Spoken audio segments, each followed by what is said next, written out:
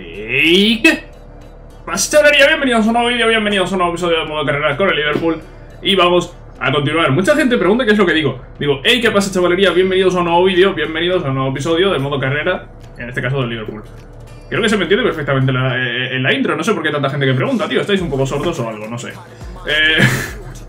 Bueno, veis que no llevo gorro eh, así estoy ahora mismo. Eh, así estoy ahora mismo de, pelo. Eh, no llevo gorro hoy porque no tengo frío, básicamente, no por nada en particular. Tengo el gorro aquí. tengo el gorro aquí, pero si no tengo frío, pues no me voy a poner el gorro. Eh, nada más, ¿vale? Creo que está todo ya comentado. Vamos a empezar, ¿vale? Estamos en el mes de septiembre, ya dejamos el mercado atrás. Nos metemos ya de lleno en la temporada. Y bueno, pues nada, bien, bien. Bien hasta que sacas los suplentes bien hasta que sacas a los suplentes, que es el gran problema de este año. El gran problema del año pasado era el factor casa. Bueno, el gran problema del año pasado y de años anteriores era el factor casa.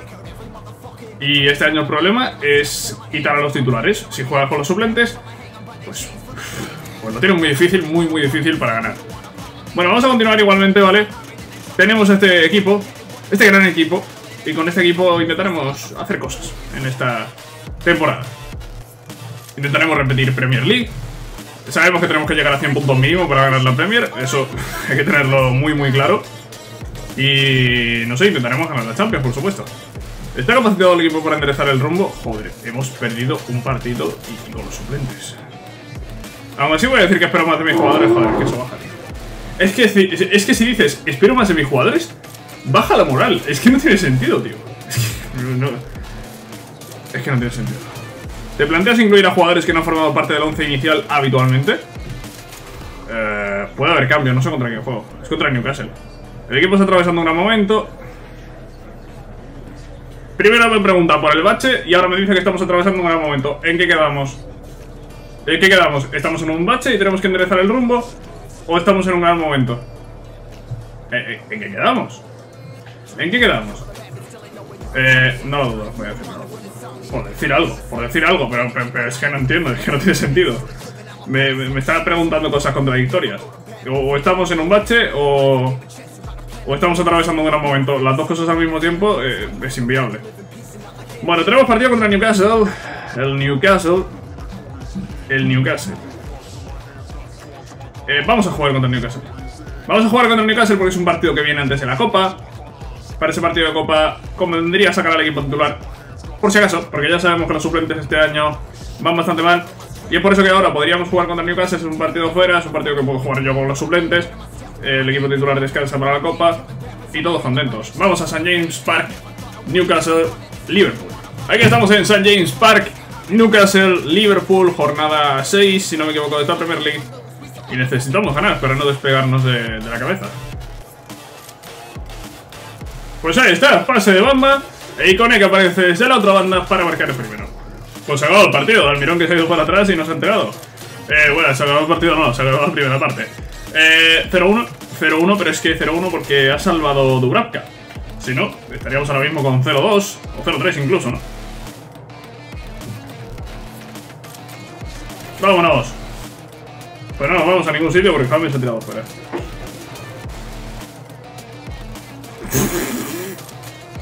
No sé si Greenwood es diestro o zurdo. Pero si es zurdo tiene un problema. Eh, Greenwood, ¿qué eres? Es zurdo, tiene un problema. Tiene un problema clarísimo de definición Mason Greenwood. Bueno, igualmente acaba el partido, ganamos 0-1 en Newcastle. Eh, mal partido, mal partido, la verdad. La primera parte sí que es verdad que nos podríamos haber puesto 0-2, 0-3, pero en la segunda, mmm, poquita cosa. En la segunda, poquita cosa. Eh, a ver, hay que decir que Newcastle no ha pasado de su campo. Esto también hay que decirlo. Pero pero creo que tendríamos que haber marcado algún gol más. Igualmente, eh, bueno, pues ha acabado así el partido. Y, poco más, ¿no? Eh, ha estado en caso todo el partido encerrado, no ha pasado de su campo. Es lo único positivo que podemos sacar, ¿no? Ganamos el partido por lo menos. Y ahora entrevista post partido, a ver qué preguntan. ¿El debut de alguien? Eh, ¿La racha que ahora es buena otra vez? O, sigue siendo mala? ¿O ha sido un partido malo? No sé. Ahora la por. ¿A qué ha venido eso? Es que el problema es que si le contesta así, se enfada de por. Cuando no tiene sentido eso. La competencia es sana. Voy a contestar lo que quieren oír. Porque si contesto lo que yo de verdad contestaría, muchos jugadores estarían descontentos. Y eso al final perjudica al equipo. Enhorabuena por el triunfo de hoy. ¿Estás feliz con la segunda parte? Y ojo, que pienso yo que algunas respuestas que, que, que aquí ponen como negativas, creo que no son negativas. Enhorabuena por el triunfo de hoy. ¿Estás feliz con la segunda parte? Debimos sentenciar el partido. Yo esto no lo veo una respuesta negativa. Yo esto lo veo una realidad. Debimos sentenciar el partido de la segunda parte. Pero es que si digo eso, el equipo se enfada. Eh, en fin, no sé quién es el que ha, ha cogido estos criterios, ¿no? Ha dicho esto. Es que no me parece que esté bien, tío. ¿Piensas que el Newcastle ha jugado bien? La verdad es que no. ¿Para qué te voy, para a engañar? Bueno, a ver, ha jugado bien a, lo suyo, pero es que no ha pasado de su campo. Y sin goles, ya me dirás. Ya me dirás sin goles qué, quieres hacer. El Arsenal se quiere llevar a Grujic. No.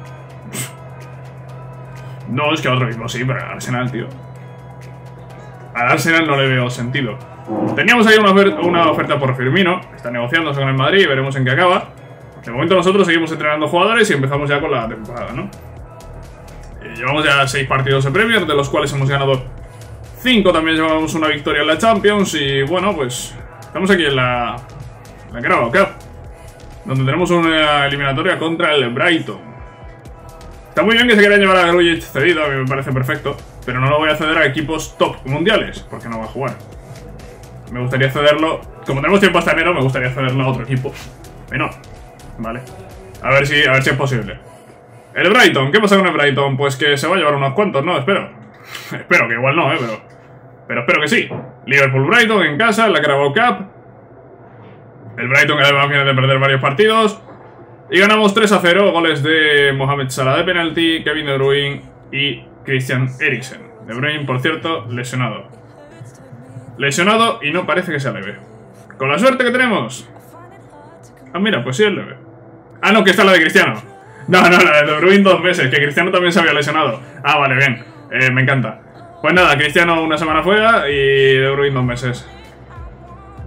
De Bruyne, por media, el tercero mejor del equipo junto con Van.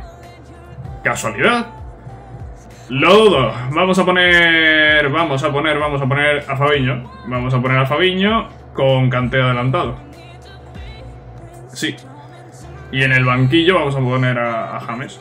En el banquillo ponemos a James y ahora en el equipo suplente entrará a Tonali. En el equipo suplente entrará a Tonali, que además entra entra por Fabiño, es posición por posición, no hay que cambiar nada más. Vale, pues ahí tenemos ahí tenemos eso, ahí tenemos eso que preferiría no haberlo tenido, pero nos lo tenemos que comer. Aquí al banquillo debe ir alguien. Eh, voy a poner a Sakiri, porque he ido a hacer cambios en el partido de antes y, no tenía alternativas, no tenía quien sacar. Eh, he sacado a Maroni en banda, Greenwood en la otra, eh, Tonali como interior. Hay pocas alternativas en el banquillo. En el banquillo suplente. Vale, ahí tenemos eso. Eh, Cristiano 7 días fuera, en principio... Bueno, en principio no sé yo si va a llegar al partido de United. Bueno, y el Valencia después. Pues en principio igual no llega a ningún partido. El Tottenham se quiere llevar a Sandro Tonali. No. No voy a ceder jugadores a rivales directos. Rivales directos, entiéndase cualquier equipo inglés, el Big Six. Y tampoco lo voy a ceder los jugadores a, un Barça. A no ser que sea un jugador de 87 de media, no lo voy a ceder al, Barça, ¿no?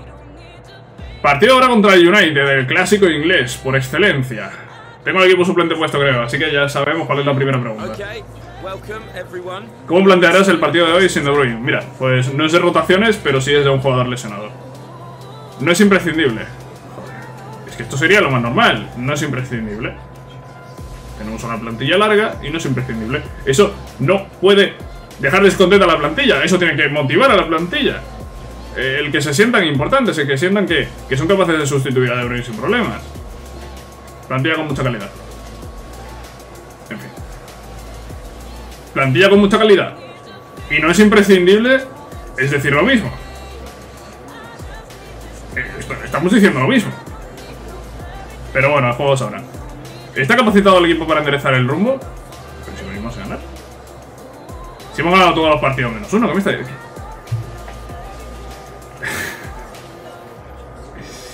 eh... no sé. No, no, de verdad, no sé qué decir. Y ahora me dice que se estará preocupado el United por el partido que hicimos.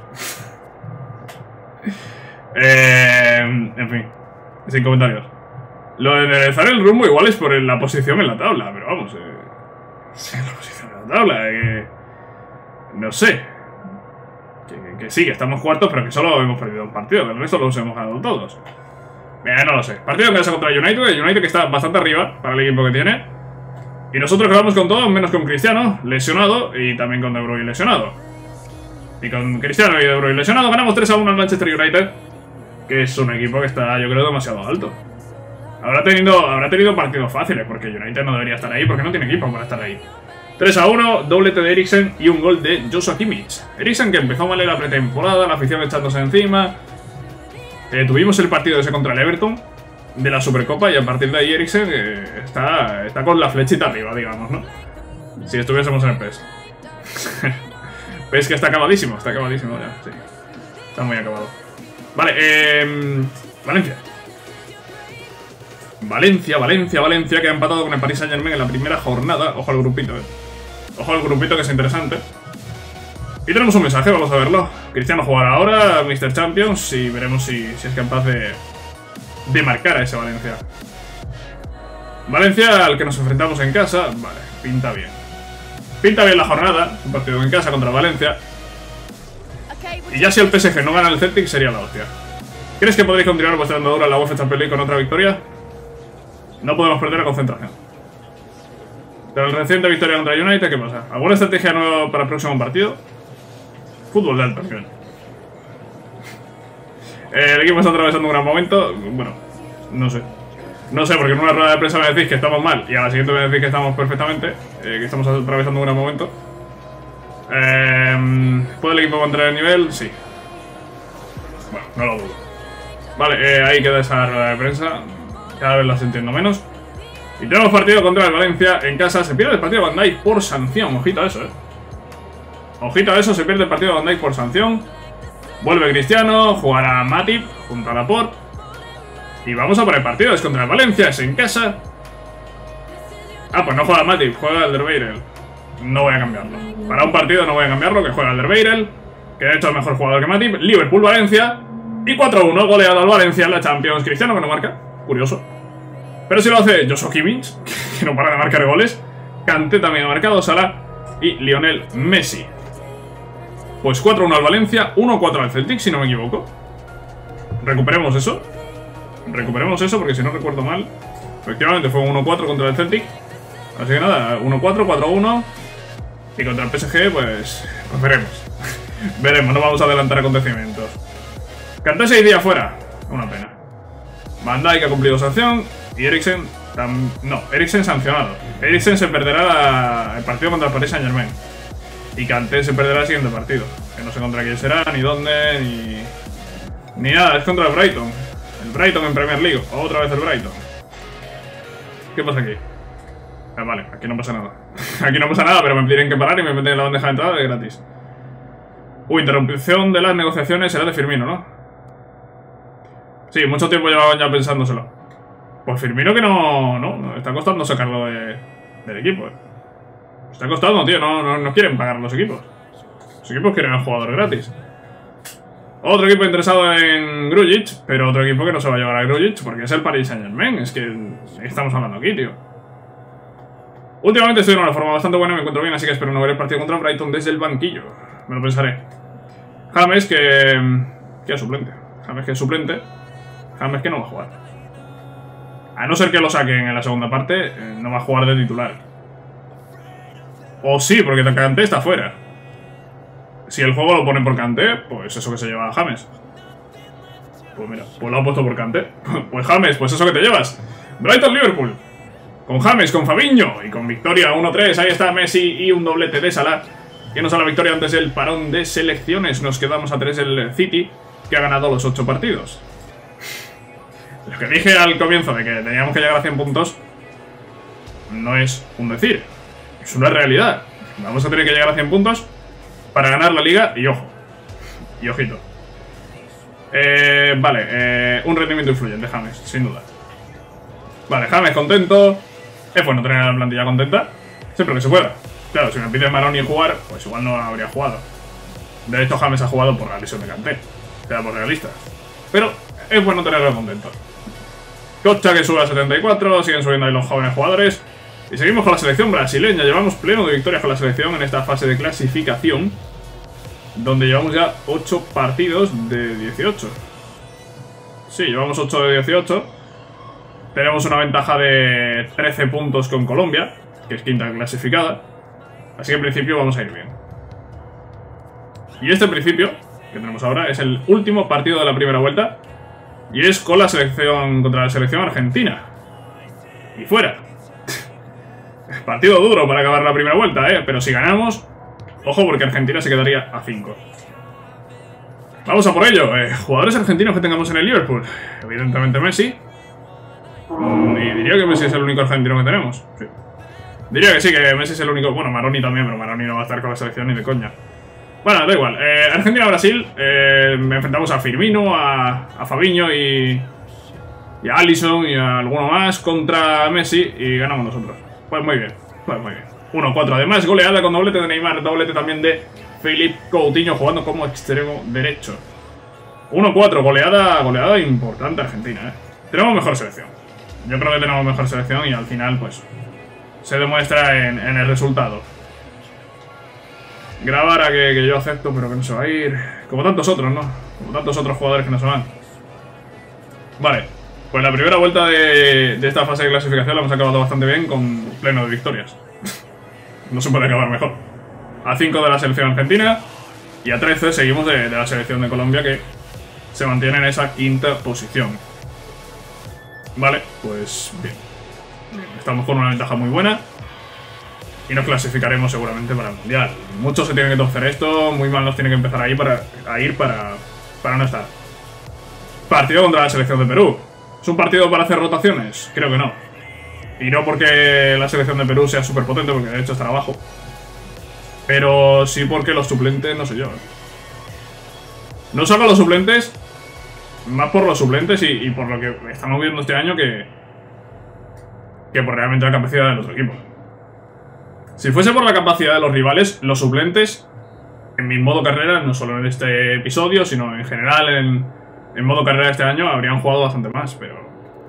Es que estamos viendo el rendimiento que tienen, ¿no? Eh, estamos viendo que tienen una tendencia a no ganar. Cuando sacas un equipo que no es el titular, tienen una tendencia clarísima a no ganar, por muy superior que sea. Entonces hay que, hay que limitar eso. Vamos contra el Chelsea ahora. Eh, tenemos rueda de prensa previa. Chelsea no sé en qué posición estaba, la verdad. Haciendo todo el equipo para enderezar el rumbo. Joder, qué pesados, ¿no? Qué pesados, que, que, hemos ganado todo menos un partido, tío. ¿Crees que la moral del rival puede estar flaqueando? Es que me da igual la moral del rival. El equipo está atravesando un gran momento. ¿Crees que podréis mantener este tremendo ritmo? Podemos hacerlo aún mejor. Muy bien, el Chelsea no sé en qué posición está. Pero entiendo que estará por ahí arriba, ¿no? Está quinto. Está quinto a solo tres puntos. ¿Vale? Que es una, una tontería. Es un Chelsea que nos puede ganar. Es un Chelsea con, Gareth Bale. Ojo. Ojo que tiene a, a Gareth Bale. Y poco más, ¿no? El City... ¿El City qué? ¿Contra quién juega el City, tío? El City va a perder en algún momento. El City, el City juega fuera contra el Southampton. Décima posición para Southampton, que ha empezado bien. Pero que no creo que haga nada contra City, la verdad. Liverpool, Chelsea, nosotros vamos a nuestro partido y vamos a por la victoria por 2 a 1. Victoria reñida, pero victoria a 3 puntos. En un partido realmente duro contra el equipo del Big Six. Cristiano y Eriksen goleadores. Fabiño que ha fallado un penalti. Y Kovacic que ha hecho el gol del Chelsea. Iba a mirar que era del City, pero ha puesto a los Champions, así que después lo vemos. Partido contra el Paris Saint Germain, ¿vale? Es un partido que cierra la primera vuelta de, la fase de grupos. Es un partido que nos puede dejar prácticamente clasificados si lo ganamos. Así que está, está muy bien. Está muy bien el partido. Ahora mismo 2 del PSG. Si ganamos, a 5. Si ganamos a 5. Con toda la segunda vuelta por disputar. Y a 5 también quedaríamos, entiendo, del Valencia, que en teoría debería ganar al, al Celtic. Rueda de prensa, vamos a por ello, tío. Va a ser el último partido del episodio de hoy, este contra el Paris Saint Germain. Eh, eh, tres victorias consecutivas. Todo puede pasar. Todo puede pasar. Un partido duro este. ¿Cuál es la, sensa la sensación respecto al partido anterior? pues que nuestra estrategia funciona. El equipo está atravesando un gran momento. Podemos hacer. Que sí que podemos mantener el nivel, tío. Siempre preguntando por el nivel. Pues sí, tío. Podemos mantener el nivel. Creo que sí. Tenemos un gran equipo, una gran plantilla. Partido contra el Paris Saint Germain. Se lo pierde Eriksen por sanción. En principio jugará James. Y si no lo hace James, lo hará Navi. Vamos contra el Paris Saint Germain al Parque de los Príncipes. Creo que sigue manteniendo a Mbappé y Neymar. No tengo noticias de que hayan salido. Juega James. Y poco más. Paris Saint Germain, Liverpool. Vamos al Parque de los Príncipes a sumar la tercera. Y ahí tenemos la tercera, claro que sí. 1-2 ganamos a un PSG con Di María, con Mbappé, con Neymar, con Kai Havertz. Eh, sin Cavani, sin Icardi tampoco que estará en el Inter. Y nosotros que hemos ganado con goles de Salah y de James. James Rodríguez, tío, ha marcado ese gol y nos ha dado la victoria. Pues muy bien, pues muy bien. Y ojo, ojo que ya Neymar y Mbappé están viendo cosas, ¿eh? Están viendo cosas en nuestro Liverpool y los estamos llamando a, venir aquí, ¿eh? Skriniar en el West ¿Qué hace Skriniar en el West no sé lo que hace.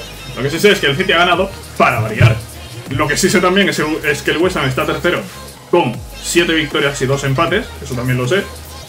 Y, poco más, tío. Increíble, increíble el rendimiento de West de Newcastle también por ahí.